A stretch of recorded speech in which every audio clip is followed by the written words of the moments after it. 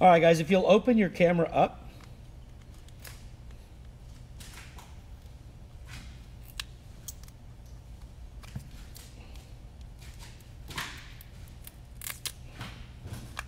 Okay.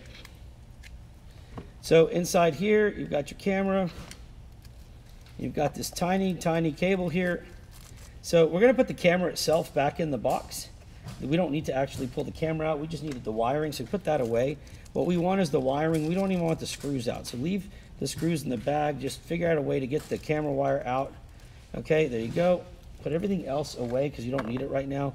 All we're gonna do is solder this wiring, okay? And this is really tiny wiring, and I'm not gonna cut this wiring to make it any shorter. I have no reason to. All I'm gonna do is take whatever's on here and solder it directly to the board.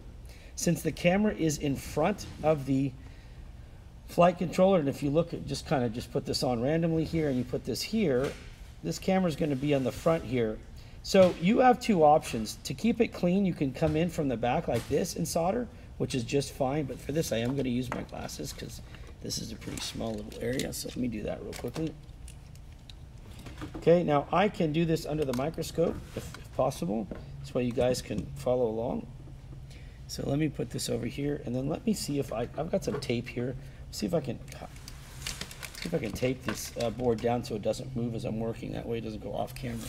So bear with me and I'll, I'll focus it in a second. Let me just see where I'm at. Okay, so this is where we're working right here. Let's see if I can tape that down somehow. Okay, I think that'll work.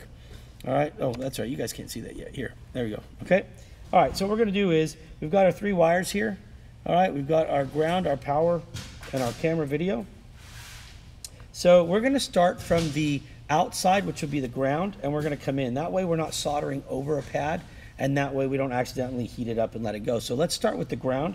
So take your ground wire, and these are, I love what Caddx does with their wires because they cut them, they tin them perfectly. Like, I mean, it's a perfect length, okay? So just get it lined up. Let me get my goggle, my glasses on so I can see. My Magoos. Okay. Just come on in and make sure you have a clear path to that ground tab.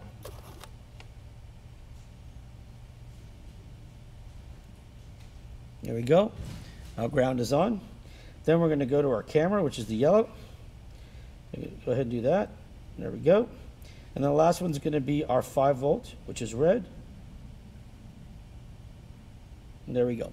Okay, so we've got all three wires put on. So once you do that, you could wind the wire up just a little bit more. Make sure you have that going. So you've got red, yellow, black. Once you have that part set up, the only thing left to do is going to be to come back and do your receiver which is what we're going to do next. So uh, let me, what I'm going to do here is I'm going to stop this video here. Make sure you're watching. That's all we're going to do right now for the camera. So that's a very quick, very easy spot. But since we're going to be using the microscope again uh, to do the receiver so we can see the last of the pads, I'm going to leave it on here and just move the board down a little bit. So I'll be right back to do